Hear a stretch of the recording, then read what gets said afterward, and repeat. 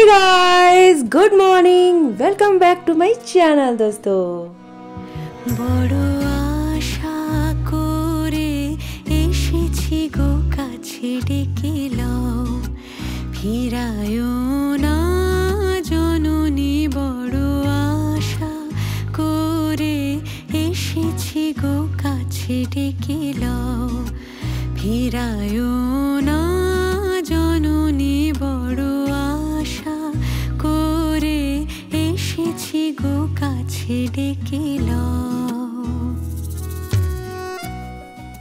तो गार्डन से तो आने का मन ही नहीं करता है। लगता है, पूरे दिन मैं अपने गार्डन में गुजार दूँ, अपने पेड़ पौधों के साथ। लेकिन किचन में तो आना है, जहाँ बहुत सारे काम है। तो यहाँ पे दोस्तों बन रहा है पेठा का जूस. तो पेठा को मैं छोटा छोटा कट कर रही हूँ और इधर मेरे हस्बैंड इसको ग्राइंड कर रहे हैं। तो बहुत ही कम मेहनत में हेल्दी जूस बन के रेडी हो जाता है दोस्तों।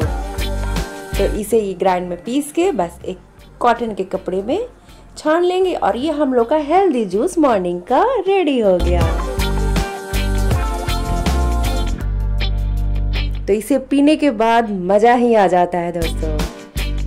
तो इतना ये टेस्टी लगता है ना, बिल्कुल नारियल पानी से तो कम नहीं लगता है। तो मैं फिर आ गई अपने प्यारे से गार्डन में। जहाँ मेरे हस्बैंड क्लीनिंग कर रहे हैं अपने गार्डन का। तो जब ये घर में रहते हैं तो गार्डन का क्लीनिंग यही करते हैं। तो अपनी गाड़ी और मेरी भी गाड़ी को बढ़िया से धो के चमका देंगे एकदम।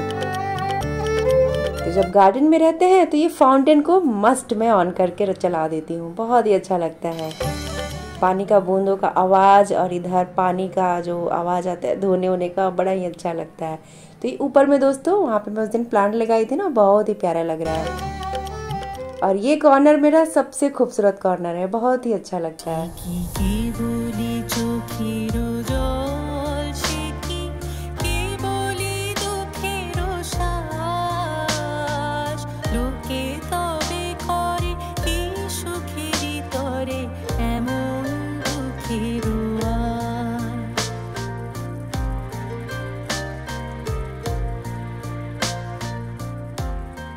ये फाउंटेन और चंपा का फ्लावर ये दोनों मुझे मॉर्निंग में इतना एनर्जी दे देते हैं ना तो मेरा पूरा दिन पॉजिटिव वाइब से गुजरता है दोस्तों। इतना अच्छा लगता है फाउंटेन और ये चंपा का फ्लावर देख लेती हूँ ना तो बस मेरा दिन बन जाता है।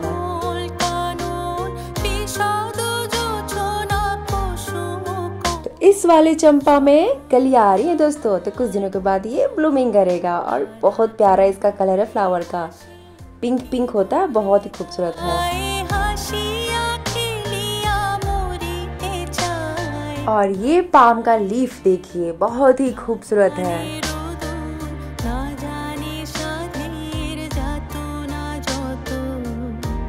तो मौसम भी काफ़ी अच्छा हुआ है।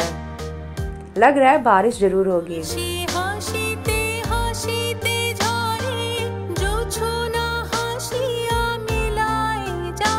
गाड़ी एकदम चकाचक चमक गया। और मेरे प्लांट भी देखिए, एकदम नहा धोवा के रेडी हो गए हैं। तो वैसे मैं एक बात बताऊँ दोस्तों, मेरे से भी अच्छा बहुत ही ज़्यादा अच्छा मेरे हस्बैंड गार्डन का क्लीनिंग करते हैं। तो बहुत ज़्यादा ये टाइम देते हैं। मैं तो कभी भी आज तक स्कूटी नहीं साफ़ की हूँ, कभी नहीं मैं स्कूटी को। जब भी मुझे जाना रहता है मार्केट तो बस मैं कपड़े, सूखे कपड़े से पोस देती हूँ। लेकिन जब ये गार्डन में रहते हैं तो बढ़िया से धोते हैं, पोसते हैं और फिर एक स्प्रे रखे हैं गाड़ी के लिए, वो डालते हैं एकदम, लगता है कि एकदम अभी वॉश हो गया आया है सर्विस सेंटर से। और दोस्तों, ये मेरा बाहर का एंट्रेंस देखिए। मुझे बहुत ही खूबसूरत लगता है ये, बहुत अच्छा वाला वाइब्स मिलता है यहाँ से।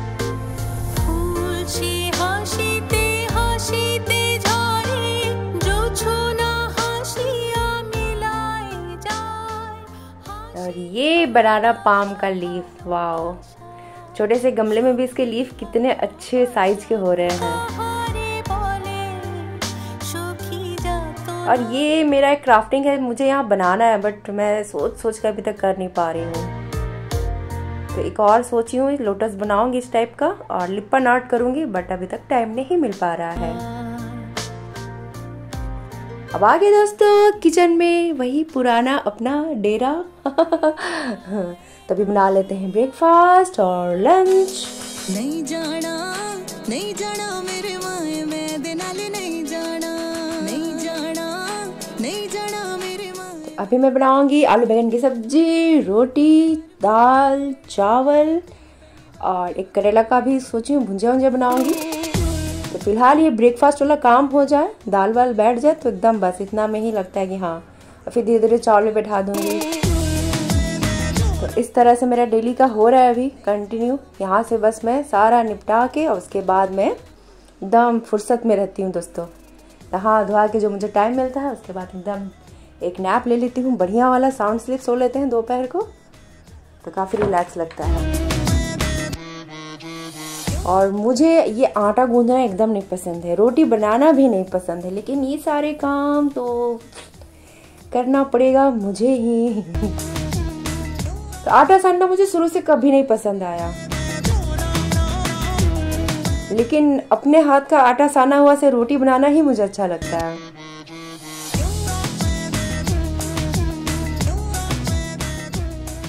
मैं जब रोटी बनाती हूँ तो मुझे आटा ज़्यादा ना गीला, ना ज़्यादा कड़ा। उस टाइप का मैं आटा गूंदती हूँ। और बहुत लोग जब आटा गूंदेंगे तो इतना गीला, हालाँकि रोटी बहुत पतला और बहुत ही सॉफ्ट बनता है। और कोई कोई बहुत कड़ा सानेंगे। तो मेरा वाला कैसा रहता है? ना कड़ा, ना ज़्यादा गीला। तो वो मेरे से रोटी बहुत ही अच्छा बनता है।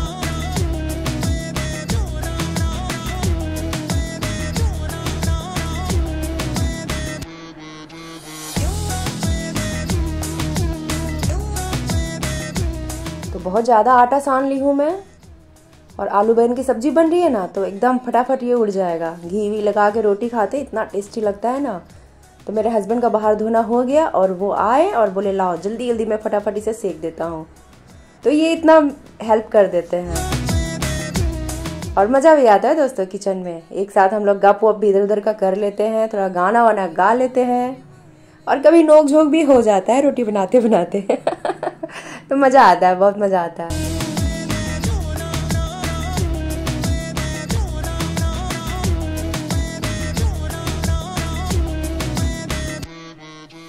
अरे मेरी सासू माँ आ गई, इनका बॉटल रखा हुआ था भर के तो ये अपना बॉटल ले गई।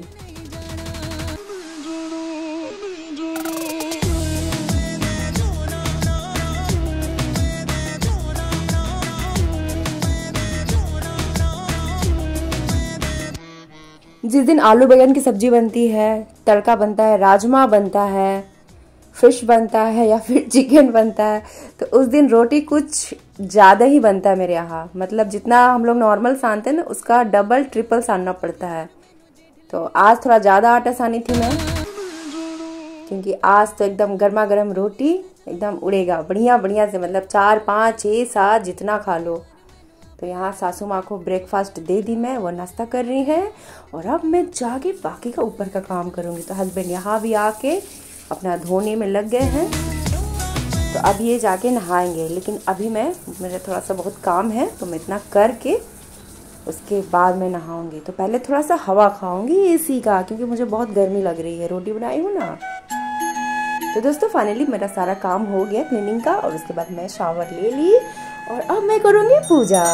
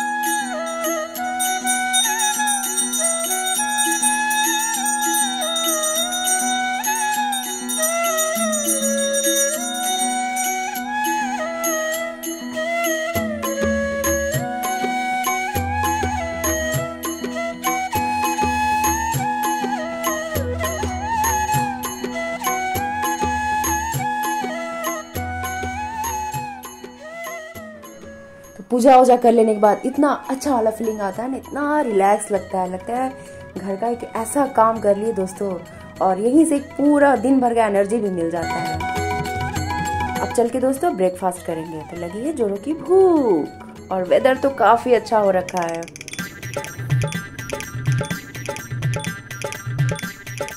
तो फटाफट से फ्रूट्स को कट कर लेते हैं, क्योंकि मेरे मेरे हस्बैंड को सबसे पहले फ्रूट्स खाना पसंद है।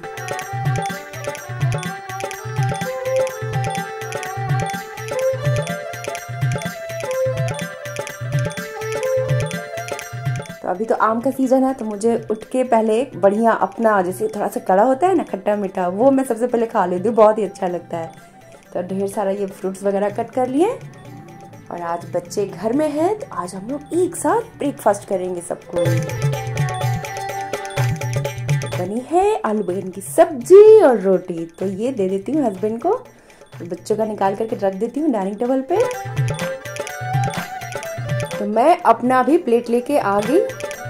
और ये स्क्रीन पे दोस्तों, ये जो धुआँ दिख रहा है ना, ये धूप का है। तो यहाँ पे गणेश जी रखा हुआ है तो मेरे हस्बैंड यहाँ पे धूप रख दिए हैं। तो उसी का ये धुआँ दिख रहा है स्क्रीन पे। तो ये मेरा बेटा आ गया और इसका ब्रेकफास्ट रखा हुआ है डाइनिंग टेबल पे। और इसे बहुत चिड़ है।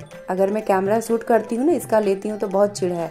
तो इसको अभी पता नहीं है कि मैं यहाँ पे रखी हूँ और वीडियो बन रहा है। अब जब इसे पता चलेगा ना तो ये कब डिलीट कर देगा तो मुझे बहुत छुपा छुपा के रखना पड़ता है। तो मेरा ब्रेकफास्ट करना हो गया और अब मैं आ गई अपने गार्डन में, जहाँ रिमझिम रिमझिम बारिश हो रही है।